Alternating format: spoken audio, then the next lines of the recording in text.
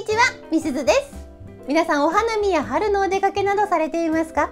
こってりした食事が続いた後はあっさりしたものを食べたくなりますよね。今日はあっさり鶏胸肉をしっとり食べる料理をご紹介します。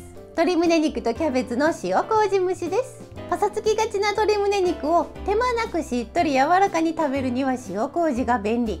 塩麹とは米麹と塩を発酵させて作る日本の調味料です。今回は塩麹に漬け込んだ鶏胸肉とたっぷりのサワーキャベツをフライパンに詰めて蒸し煮にしていきます。今日もぜひ最後まで楽しんでいってください。またサワーキャベツとは冬キャベツの品種改良から生まれたキャベツで巻きが緩くて甘めのキャベツです。代わりに春キャベツでも冬キャベツでもいいですよ。お好きなものを使ってくださいね。このチャンネルはお砂糖みりんなしレシピを載せています。チャンネル登録高評価していただけると嬉しいです。また目次は概要欄に貼ってますのでお急ぎの方は必要な箇所に飛んでください。今日の流れ3ステップ。今日はまず下準備。鶏胸肉は塩麹に漬け込み野菜は切ります。次に蒸し煮にします。フライパンにトマト以外の材料を詰めて火にかけます。最後にトマトを加えます。トマトが入ることで甘酸っぱさもプラスされまたトマトの赤色も彩り綺麗になりますがお好みでトマトはなしにしてもいいですよ。鶏胸肉とキャベツだけでも美味しいです。今回の栄養素はこちらです。これはレシピ2分の1量の栄養素になります。詳しいレシピは後ほどブログにも書きますのでそちらも見てくださると嬉しいです。概要欄にリンク貼っておきますね。材料はこちら。今回は28センチのフライパンを使用します。この分量でちょうどいっぱいになります。お持ちのフライパンが小さい場合は分量をすべて半量にしてください。またきのこや玉ねぎを加えても美味しいです。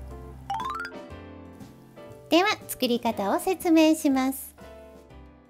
まずは鶏胸肉を漬け込みます。鶏胸肉 550g 塩麹は鶏肉の 10%55g 使います。鶏皮の付近の火通りは悪いので今回は皮は外しておきますね。お好みでつけたままでも良いですがその場合は加熱時間を少し長くしてください。また今回は一晩漬け込むのでこのまま使用します。急ぐ場合は鶏肉全体にフォークで穴を開けてください。そうすると短い時間でも味しみが良くなります。今回は開けずに使用しますね。保存袋かビニール袋に鶏肉を移動します。この中に塩麹を加えましょう。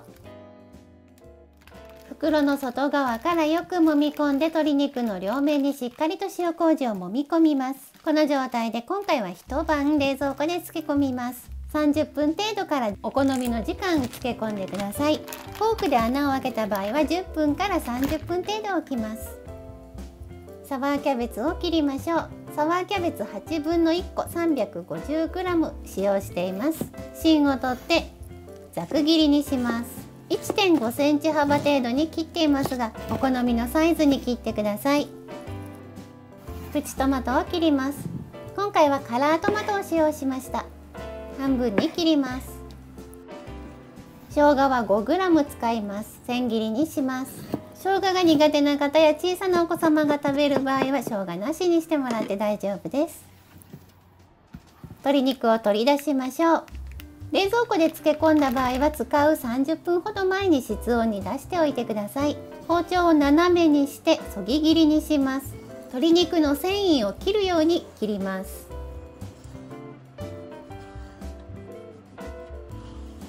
ではフライパンか鍋に詰めましょう。大きめのものを使ってください。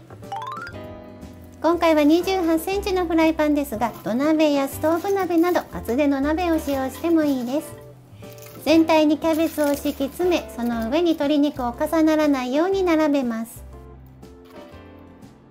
生姜を散らし塩麹を大さじ1杯振ります。さらにお酒を振りましょう。酒の代わりに水でもいいです。あれば昆布も加えると風味が良いですよ。適当にちぎって中に詰め込みます。蓋をして火にかけましょう。弱め中火で5分ほど加熱します。一旦蓋を開け上下を返しましょう。使用する鍋や鶏胸肉の切り方や厚さ量によっても加熱時間変わります。鶏胸肉1枚分だけで作る場合は3分程度でいいですよ。再び蓋をして弱め中火のまま。2分ほど加熱します。火が強いと焦げやすいので注意してください。蓋を開けプチトマトを加えましょう。あとはこのトマトが温まる程度にさっと加熱します。1分ほど温めて火を止めましょう。良い香りがしてくるのも目安になりますよ。美味しそうに出来上がりましたね。器に盛りましょう。細ネギの小口切りを散らします。これで出来上がりです。蒸されたキャベツの甘さが鶏胸肉にも移り塩麹の効果もあってしっとり柔らかほんのり甘く食べられますよ。冷めても美味しいので作り置きおかずにもどうぞ。最後まで見てくださりありがとうございました。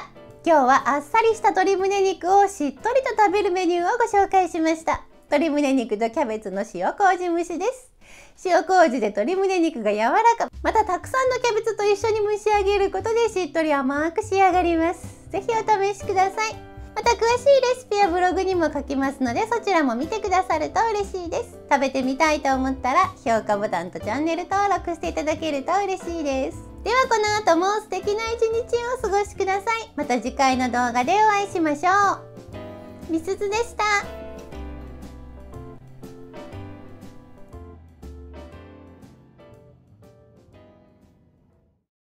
つもご視聴いただきありがとうございます。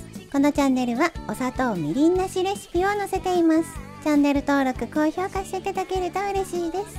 詳しいレシピはブログへ、また Twitter、Instagram、TikTok などもやってます。そちらも見に来てくださると嬉しいです。ではまた次の動画でお会いしましょう。